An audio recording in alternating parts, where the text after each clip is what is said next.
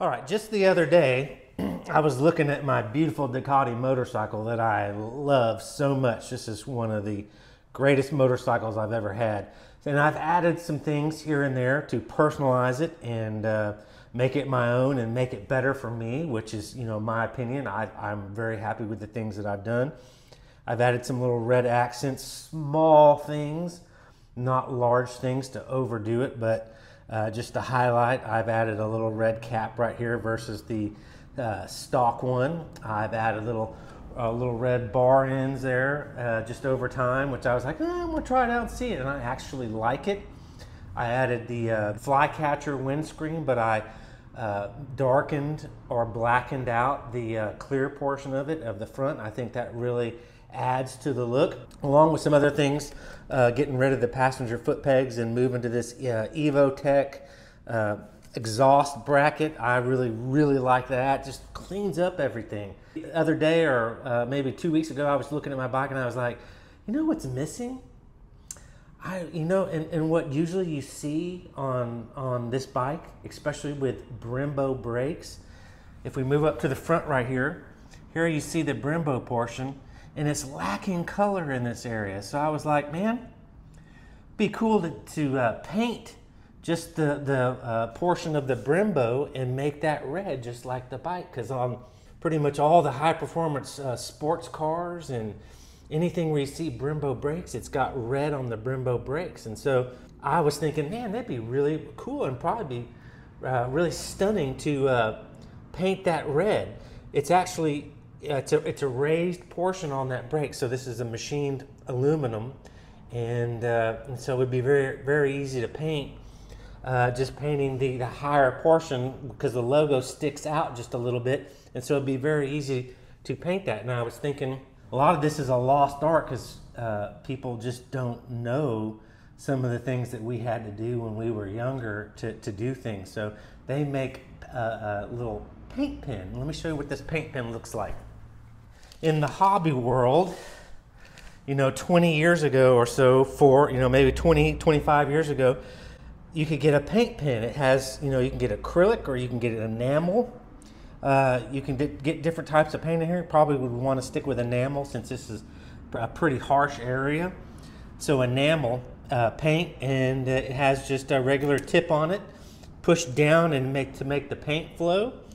Uh, and then you can paint. You can actually for some people, a little bit more precision to, to, to paint with their hand, uh, you know, instead of a brush, you know, or paint with uh, the tip of this is what I'm trying to get at. When I get ready, I'll make, I'll prime this pen so the red's flowing, and then I'll come in here and highlight and try to paint that and do the best job I can. And then we'll look at the, you know, before and we'll look at the after.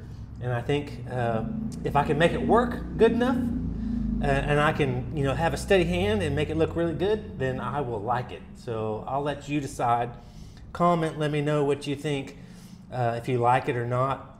And I also removed uh, one YouTuber on one of my videos, like, man, you got to remove those orange reflectors from your, your shock. And he was like, man, you got to do that pronto. And I was like, hmm, I think you're right. So uh, you got to use a heat gun and heat that up really hot and it's applied by adhesive. And I pulled those off, and someone did, the, you know, made the comment, and I was like, eh, you know, I got it. And I totally 100% agree, and I and I benefit from from someone telling me that. And so, you know, maybe something there's something else that someone knows that I don't. But let's go ahead and skip to this.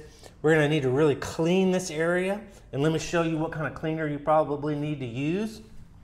Hopefully, hopefully this is helpful. Um, this is a, a one choice. This is a wax and grease remover for the automotive painting trade. And this was like $25 per can, so it is not cheap, but it removes everything from the surface so it can be uh, painted. And so it's just a, a really good cleaner, well and beyond, beyond a, a good cleaner. So um, this removes all the stuff and it, it will dry away and, and it won't leave any residue. And then you can paint on top of it. Maybe do two sprays. So it's not going to get anything uh, bad on your disc brakes, you know, to uh, harm or hurt your braking.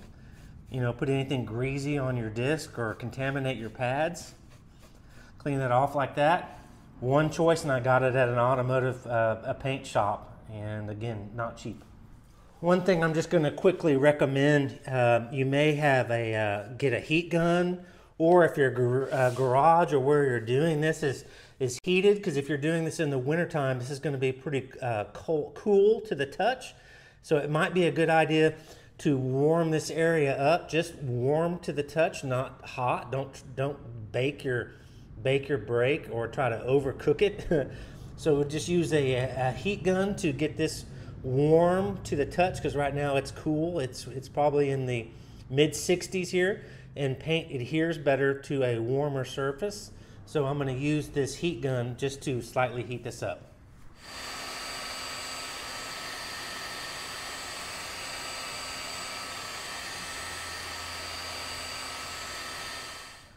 I got a piece, uh, a, a, little uh, letter actually from Ducati Finance.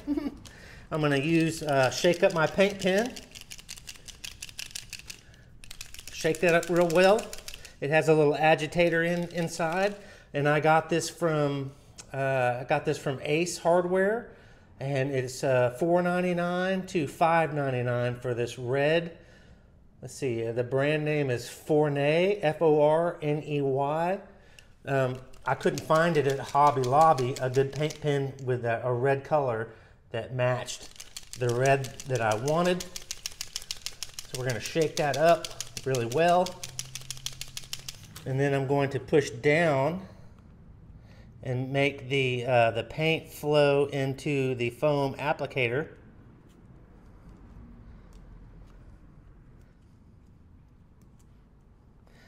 Prime it if you want to call it that. Okay, it looks like I got red flowing.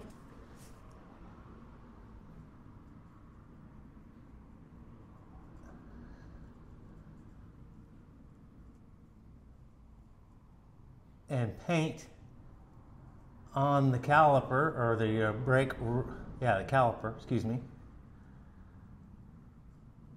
And I may need to get more paint flowing or you may need to do this a couple of times.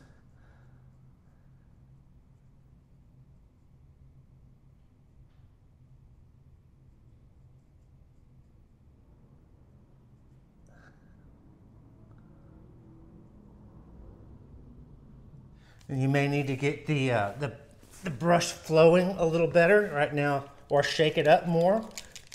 It's kind of more liquidy right now. Once you get it flowing, you may let that, you know, go ahead and put one coat on and then let that dry and then come back and put another coat, a second coat or a third coat. So I'm gonna get that done while uh, I don't have you just waiting on camera and then we'll come back and look at the final uh, the final outcome.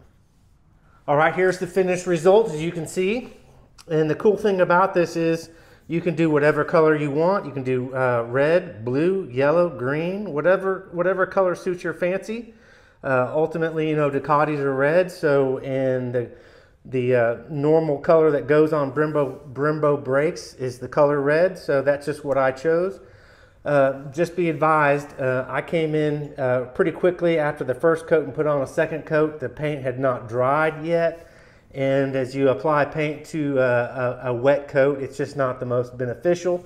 So go ahead and wait. But for the purpose of this video, I wanted to get this out fairly quickly and so people could see it uh, versus, you know, maybe on Christmas Day and, and get more people to view it. So there you go. That's what it looks like. I think it looks really good. Uh, accents the, the awesome Brembo brakes that come on these machines. This front brake is an amazing front brake and uh, just put a little color to it and dress it up. Okay, thanks for having a uh, view in my video. Have a great day.